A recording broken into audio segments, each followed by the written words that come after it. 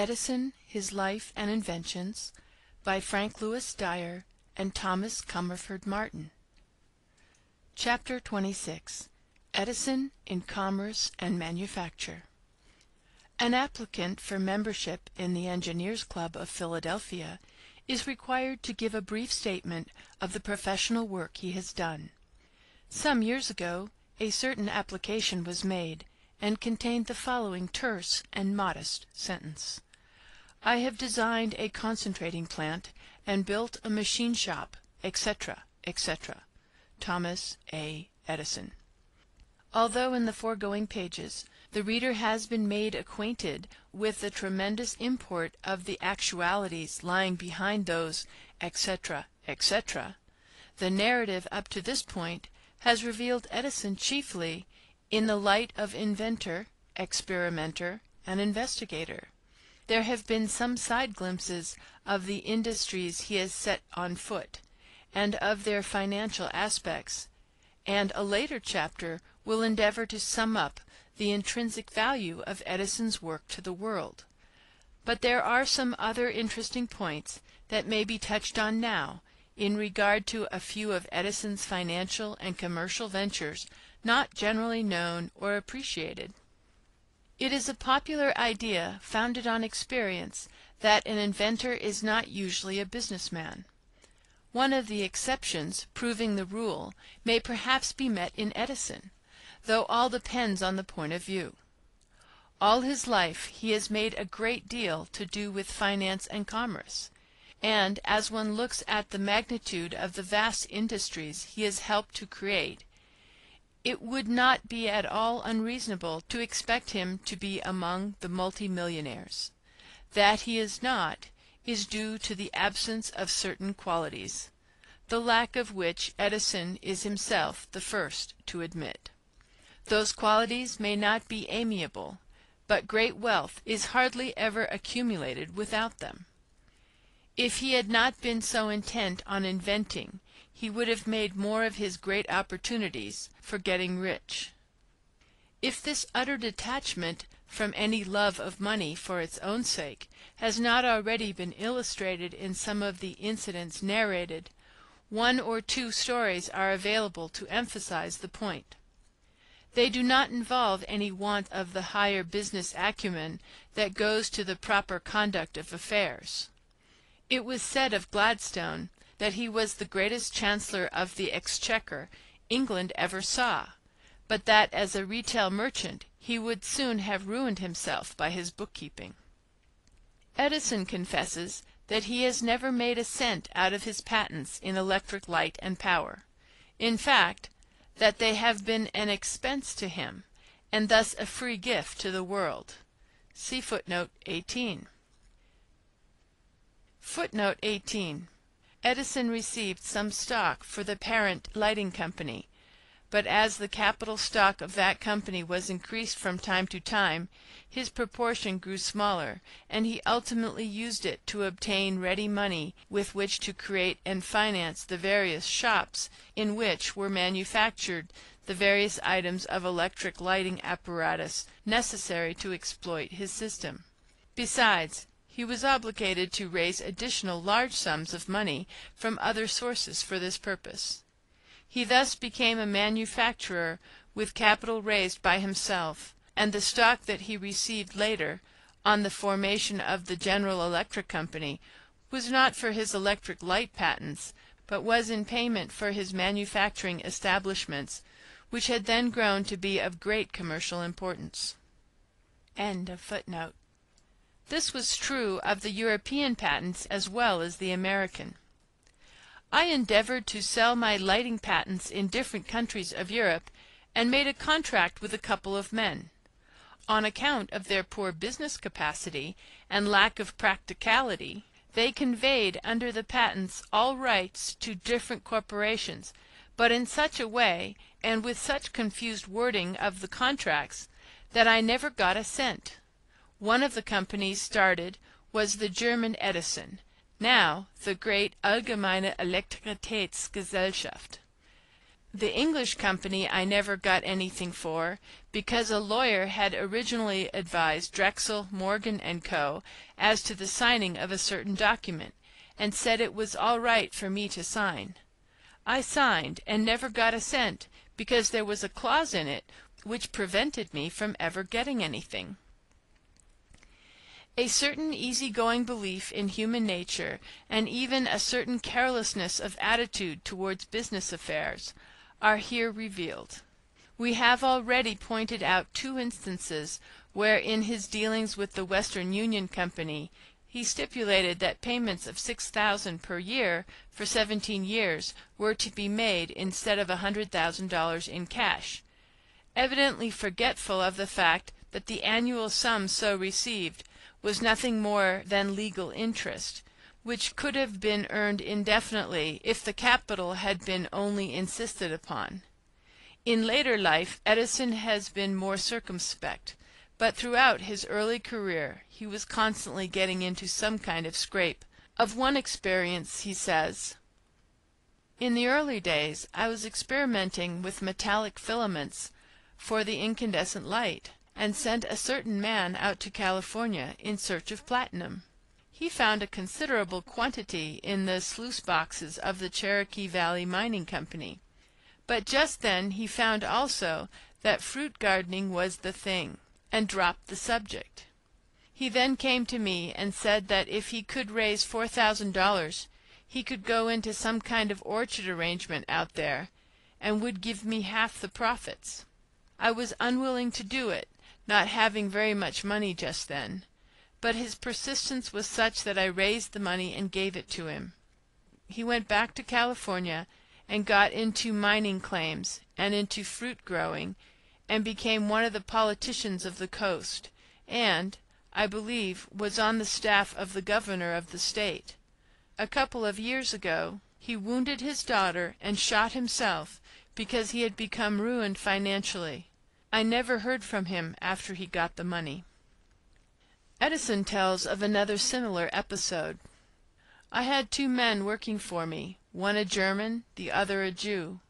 They wanted me to put up a little money to start them in a shop in New York to make repairs, etc. I put up eight hundred dollars, and was to get half of the profits, and each of them one quarter. I never got anything for it. A few years afterwards I went to see them and asked what they were doing, and said I would like to sell my interest, and they said, "Sell out what?" "Why," I said my interest in the machinery. They said, "You don't own this machinery. This is our machinery. You have no papers to show anything. You had better get out." I am inclined to think that the percentage of crooked people was smaller when I was young. This has been steadily rising, and has got up to a very respectable figure now. I hope it will never reach par. To which lugubrious episode, so provocative of cynicism, Edison adds, "When I was a young fellow, the first thing I did when I went to a town was to put something into the savings bank and start an account. When I came to New York I put thirty dollars into a savings bank under the New York Sun office. After the money had been in about two weeks the bank busted. That was in 1870. In 1909 I got back six dollars and forty cents, with a charge for one dollar seventy five cents for law expenses. That shows the beauty of New York receiverships. It is hardly to be wondered at that Edison is rather frank and unsparing in some of his criticisms of shady modern business methods, and the mention of the following incident always provokes him to a fine scorn. I had an interview with one of the wealthiest men in New York. He wanted me to sell out my associates in the electric lighting business, and offered me all I was going to get and a hundred thousand dollars besides. Of course I would not do it. I found out that the reason for this offer was that he had had trouble with Mr. Morgan and wanted to get even with him. Wall Street is, in fact, a frequent object of rather sarcastic reference, applying even to its regular and probably correct methods of banking. when I was running my ore mine," he says, "and got up to the point of making shipments to John Fritz, I didn't have capital enough to carry the ore. So I went to J. P. Morgan & Co. and said I wanted them to give me a letter to the City Bank. I wanted to raise some money. I got a letter to Mr. Stillman, and went over and told him I wanted to open an account and get some loans and discounts. He turned me down and would not do it. "Well," I said, "isn't it banking to help a man in this way?" He said, "What you want is a partner." I felt very much crestfallen. I went over to a bank in Newark, the Merchants, and told them what I wanted. They said, "Certainly, you can have the money." I made my deposit, and they pulled me through all right. My idea of Wall Street banking has been very poor since that time. Merchant banking seems to be different. As a general thing, Edison has had no trouble with raising money when he needed it, the reason being that people have faith in him as soon as they come to know him. A little incident bears on this point. In the operating the Schenectady works Mr. Insull and I had a terrible burden. We had enormous orders and little money, and had great difficulty to meet our payrolls and buy supplies. At one time we had so many orders on hand we wanted two hundred thousand dollars worth of copper, and didn't have a cent to buy it. We went down to the Ansonia Brass and Copper Company and told Mr. Cowles just how we stood. He said, "I will see what I can do. Will you let my bookkeeper look at your books?" We said, "Come right up and look them over." He sent his man up and found we had the orders and were all right, although we didn't have the money. He said, "I will let you have the copper," and for years he trusted us for all the copper we wanted, even if we didn't have the money to pay for it.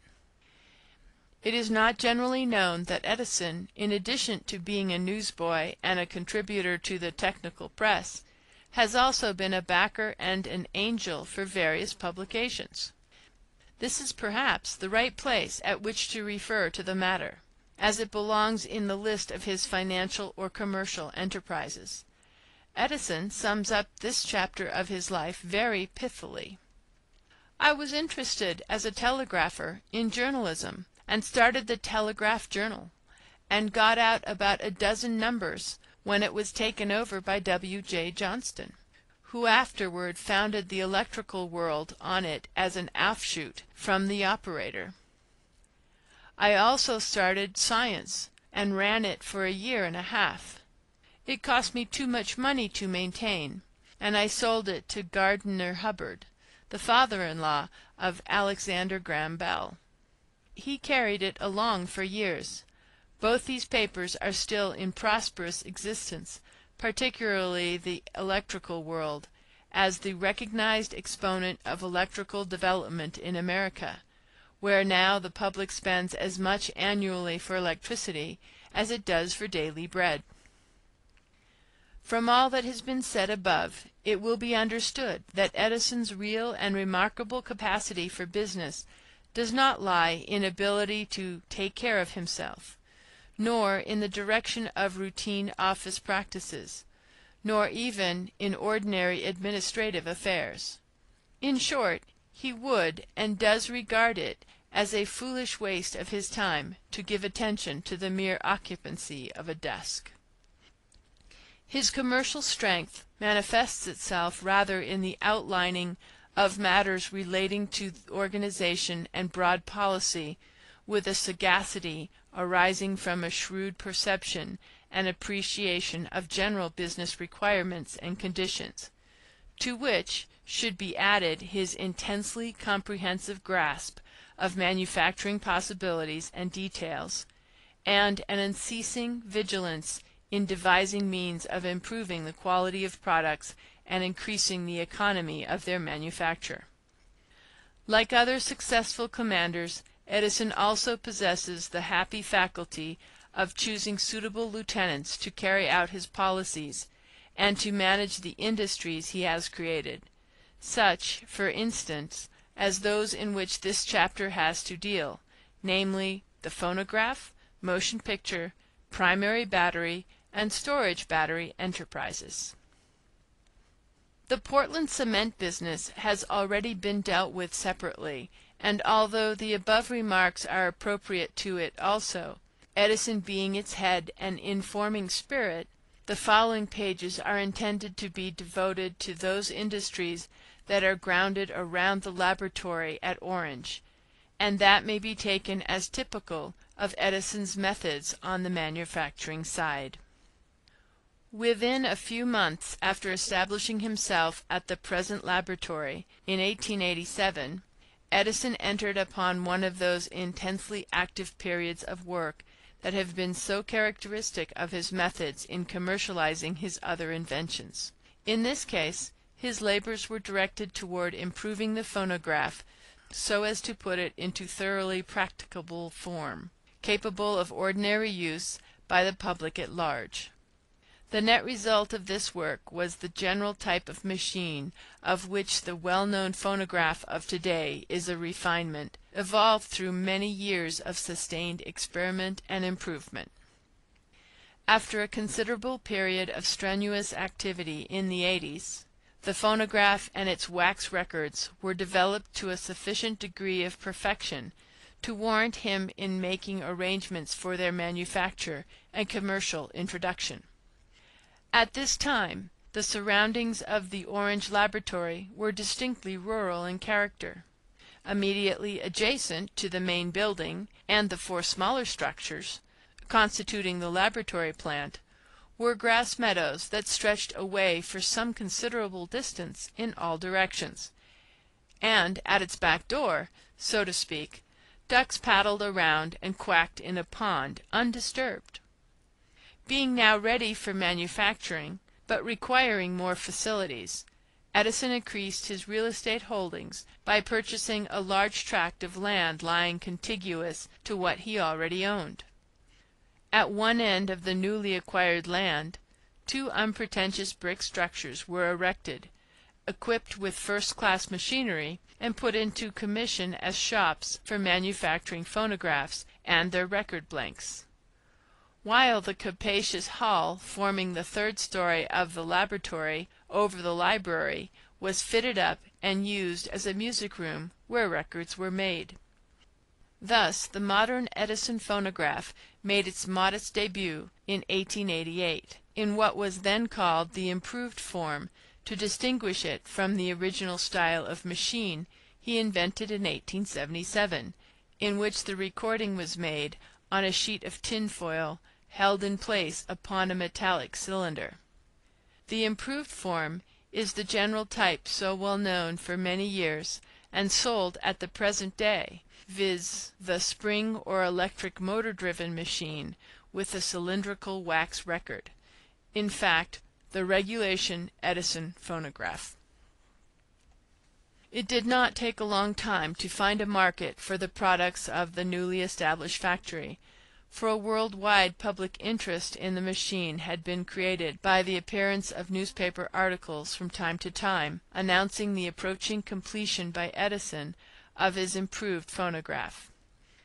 The original tin foil machine had been sufficient to illustrate the fact that the human voice and other sounds could be recorded and reproduced. But such a type of machine had sharp limitations in general use. Hence the coming into being of a type that any ordinary person could handle was sufficient of itself to insure a market. Thus demand for the new machines and wax records grew apace as the corporations organized to handle the business extended their lines. An examination of the newspaper files of the year 1888, 1889, and 1890 will reveal the great excitement caused by the bringing out of the new phonograph, and how frequently and successfully it was employed in public entertainments, either for the whole or part of an evening. In this and other ways it became popularized to a still further extent. This led to the demand for a nickel in the slot machine which, when established, became immensely popular over the whole country. In its earlier forms the improved phonograph was not capable of such general non-expert handling as is the machine of the present day, and consequently there was a constant endeavor on Edison's part to simplify the construction of the machine and its manner of operation. Experimentation was incessantly going on with this in view, and in the process of evolution changes were made here and there that resulted in a still greater measure of perfection. In various ways there was a continual, slow, and steady growth of the industry thus created, necessitating the erection of many additional buildings as the years passed by. During part of the last decade there was a lull, caused mostly from the failure of corporate interests to carry out their contract relations with Edison, and he was thereby compelled to resort to legal proceedings, at the end of which he bought in the outstanding contracts and assumed command of the business personally. Being thus freed from many irksome restrictions that had hung heavily upon him, Edison now proceeded to push the phonograph business under a broader policy than that which obtained under his previous contractual relations. With the ever increasing simplification and efficiency of the machine and a broadening of its application, the results of this policy were manifested in a still more rapid growth of the business that necessitated further additions to the manufacturing plant.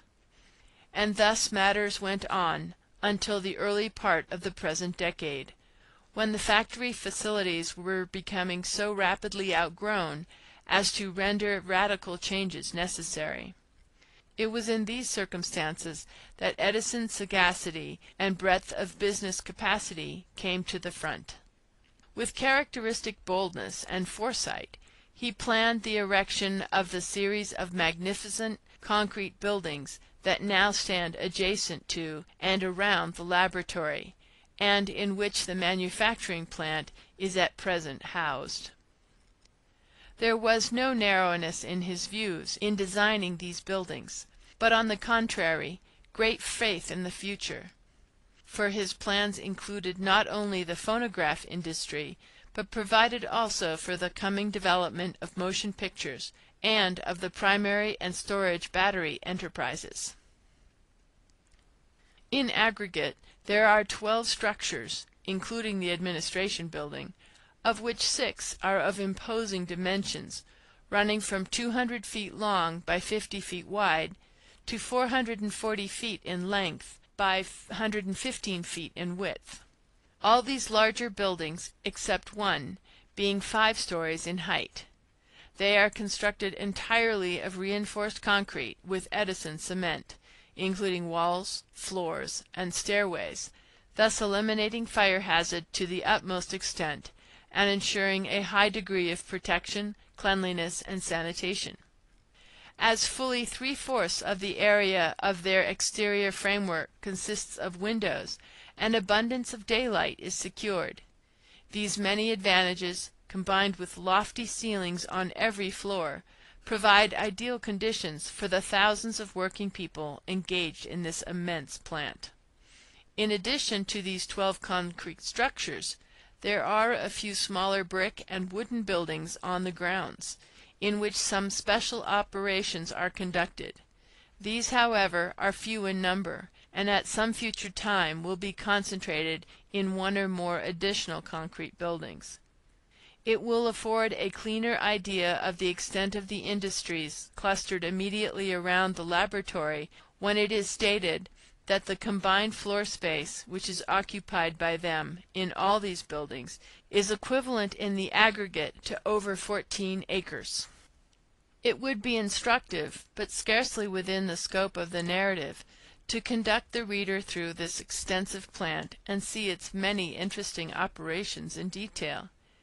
It must suffice, however, to note that its complete and ample equipment with modern machinery of every kind applicable to the work, its numerous, and some of them wonderfully ingenious, methods, processes, machines, and tools specially designed or invented for the manufacture of special parts and supplemental appliances for the phonograph or other Edison products, and also to note the interesting variety of trades represented in the different departments in which are included chemists, electricians, electrical mechanicians, machinists, mechanics, pattern makers, carpenters, cabinet makers, varnishers, japaners, tool makers, lapidaries, wax experts, phonographic developers and printers, opticians, electroplaters, furnacemen, and others, together with factory experimenters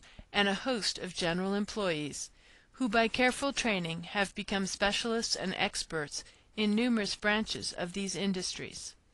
Edison's plans for this manufacturing plant were sufficiently well outlined to provide ample capacity for the natural growth of the business, and although that capacity, so far as phonographs is concerned, has actually reached an output of over 6,000 complete phonographs per week and upward of 300,000 molded records per day, with a payroll embracing over 3,500 employees, including office force, and amounting to about $45,000 per week, the limits of production have not yet been reached.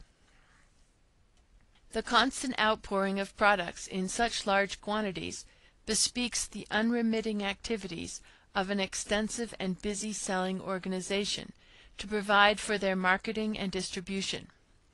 This important department, the National Phonograph Company, in all its branches, from president to office boy, includes about 200 employees on its office payroll, and makes its headquarters in the Administration Building, which is one of the large concrete structures above referred to.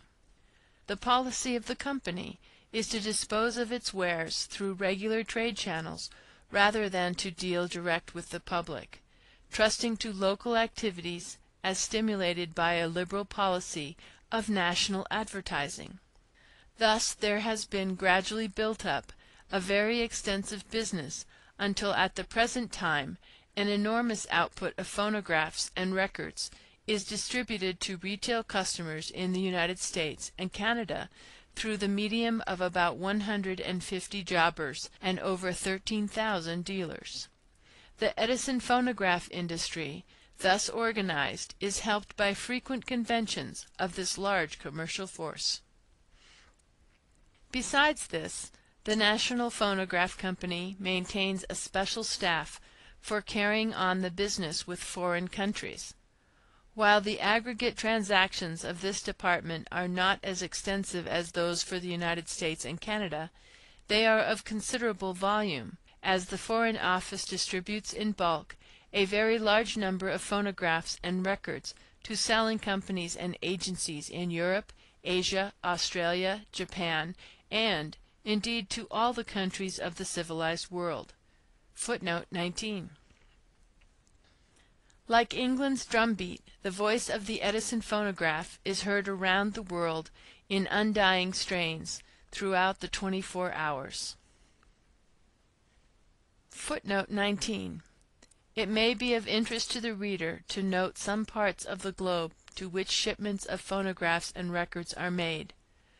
Samoan Islands, Falkland Islands, Siam, Corea, Crete Island, Paraguay, Chile, Canary Islands, Egypt, British East Africa, Cape Colony, Portuguese East Africa, Liberia, Java Strait settlements, Madagascar, Fanning Islands, New Zealand, French Indo China, Morocco, Ecuador, Brazil, Madeira, South Africa, Azores, Manchuria, Ceylon, Sierra Leone.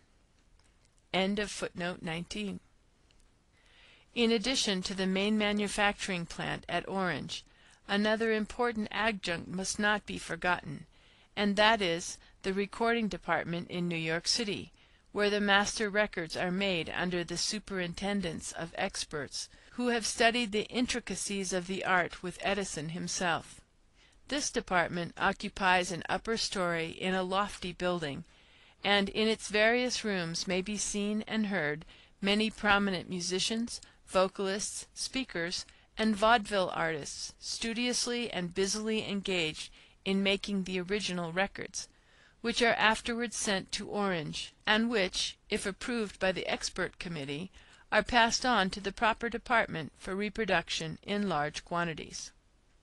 When we consider the subject of motion pictures, we find a similarity in general business methods, for while the projecting machines and copies of picture films are made in quantity at the Orange works, just as phonographs and duplicate records are so made, the original picture or film, like the master record, is made elsewhere. There is this difference, however, that, from the particular nature of the work, practically all master records are made at one convenient place, while the essential interest in some motion pictures lies in the fact that they are taken in various parts of the world, often under exceptional circumstances. The silent drama, however, calls also for many representations which employ conventional acting, staging, and the varied appliances of stagecraft. Hence Edison saw early the necessity of providing a place especially devised and arranged for the production of dramatic performances in pantomime. It is a far cry from the crude structures of early days. The Black Maria of 1891 swung around on its pivot in the Orange Laboratory Yard to the well appointed Edison Theaters, or pantomime studios, in New York City. The largest of these is located in the suburban borough of the Bronx, and consists of a three story and basement building of reinforced concrete, in which are the offices, dressing rooms, wardrobe and property rooms, library and developing department. Contiguous to this building, and connected to it, is the theatre proper, a large lofty structure whose sides and roof are of glass and whose floor space is sufficiently ample for six different sets of scenery at one time, with plenty of room left for a profusion of accessories, such as tables, chairs, pianos, bunch lights, searchlights, cameras, and a host of various paraphernalia pertaining to stage effects. The second Edison Theatre, or studio, is located not far from the shopping district in New York City. In all essential features, except size and capacity, it is a duplicate of the one in the Bronx, of which it is a supplement. To a visitor coming on the floor of such a theatre for the first time, there is a sense of confusion in beholding the heterogeneous sets of scenery and the motley assemblage of characters represented in the various plays in the process of "taking" or rehearsal. While each set constitutes virtually a separate stage, they are all on the same floor, without wings or proscenium arches, and separated only by a few feet. Thus, for instance, a Japanese house interior may be seen cheek by jowl with an ordinary prison cell, flanked by a mining camp, which in turn stands next to a drawing room set, and in each set of appropriate characters in pantomimic motion. The action is incessant, for in any dramatic representation intended for the motion picture film every second counts. The production of several completed plays per week necessitates the employment of a considerable staff of people of miscellaneous trades and abilities. At each of these two studios there is employed a number of stage directors, scene painters, carpenters, property men, photographers, costumers, electricians, clerks, and general assistants, besides a capable stock company of actors and actresses whose generous numbers are frequently augmented by the addition of a special star, or by a number of extra performers, such as rough riders or other specialists. It may be, occasionally, that the exigencies of the occasion require the work of a performing horse, dog, or other animal. No matter what the object required may be, whether animate or inanimate, if it is necessary for the play, it is found and pressed into service. These two studios, while separated from the main plant, are under the same general management, and their original negative films are forwarded as made to the Orange Works, where the large copying department is located in one of the concrete buildings.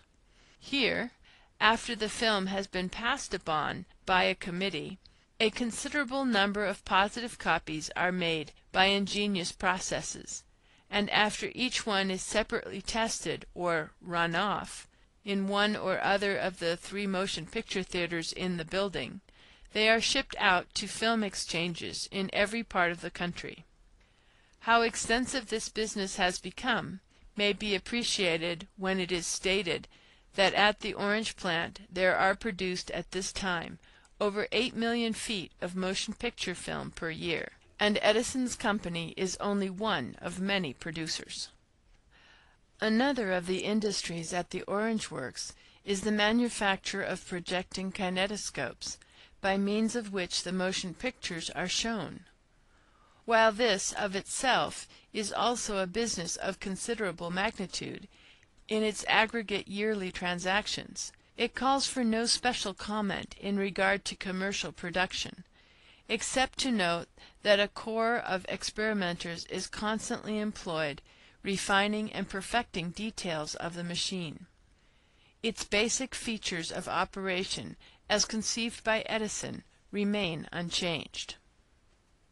On coming to consider the Edison battery enterprises we must perforce extend the territorial view to include a special chemical manufacturing plant, which is in reality a branch of the laboratory and the Orange Works, although actually situated about three miles away.